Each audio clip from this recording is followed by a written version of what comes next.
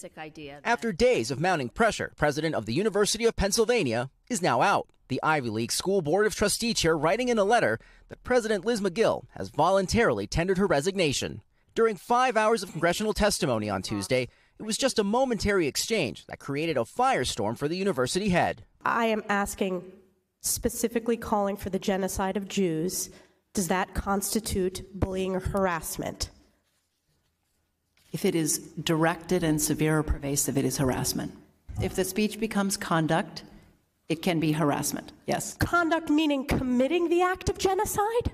New York Congresswoman Elise Stefanik pressed the presidents of Penn, Harvard, and MIT in a hearing about anti Semitism on university campuses. Magill's failure to flatly reject calls for genocide resulted in widespread backlash, including from the Democratic governor of Pennsylvania.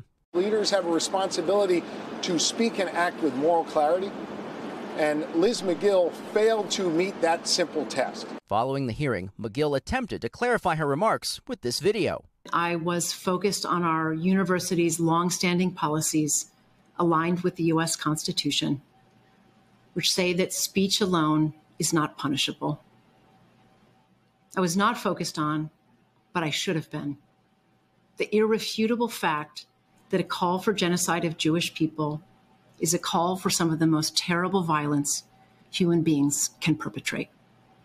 It's evil, plain and simple. But that video didn't quiet her critics, with some of the school's mega donors threatening to pull hundreds of millions of dollars.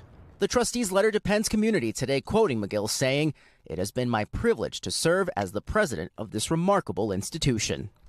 George Solis is on Penn's campus tonight. George, what comes next?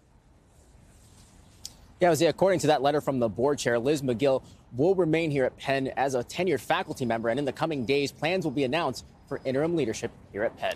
Jose? Thanks for watching. Stay updated about breaking news and top stories on the NBC News app or follow us on social media.